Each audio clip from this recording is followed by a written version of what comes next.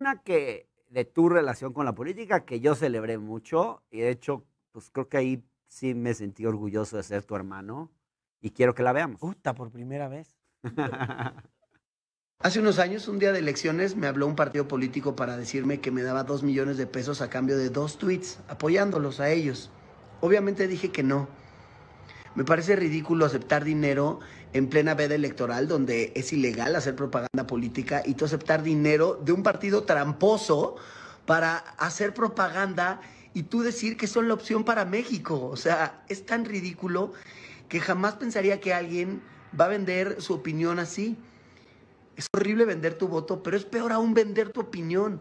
Hoy en la mañana me despierto y me doy cuenta que hay un chingo de influencers y famosos que sí vendieron su opinión.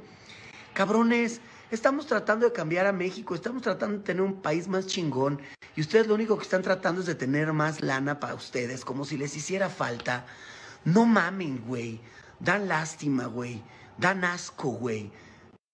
Pues sí, dan asco y la verdad estuvo Eran un chingo además, güey. Me, me hice de Estuvo muchos enemigos con ese comentario. La verdad que bien que lo hiciste. Yo sí me sentí muy orgulloso, de verdad, ¿eh?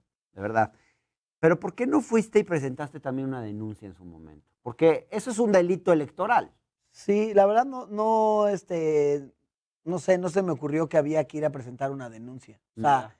y sí. y o no confiabas en las instituciones para que... No, ni lo pensé, o sea, ni pensé que, que estaba bueno, porque además tampoco tienes pruebas. No te mandan un contrato, ni, ni, ni hay un, una cosa que te esté avalando para lo que vas a decir.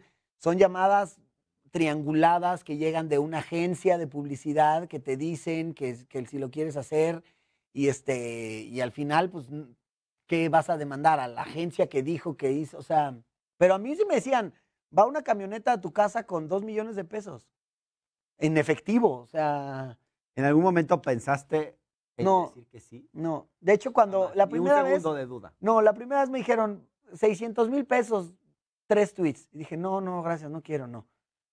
Y luego me volvieron a hablar, que un millón de pesos, tres tweets. Dije que no, ya te dije que no. Me volvían a hablar, bueno, ¿cuánto quieres? Y dije, no, pues no, no quiero. Y ahí les hablé a mis hijos y les dije, oigan, quiero decirles esto, güey, está pasando esto. O sea, quiero que sepan lo que está pasando, quiero que conozcan su país. Entonces ahí menos, güey, ya que le dijiste a tus hijos, ya, por más que te dijeran 10 millones, hijos, ¿te acuerdan lo que les dije? Bueno, fueron 10 millones. Sí lo acepté, o sea, y, y te digo la neta, yo pienso que al final la gente que, que trabajamos en medios de comunicación, lo más valioso que podemos tener es la credibilidad. Sí. Y si por dos millones vendiste tu credibilidad, a la larga perdiste mucho Ahora, más. hay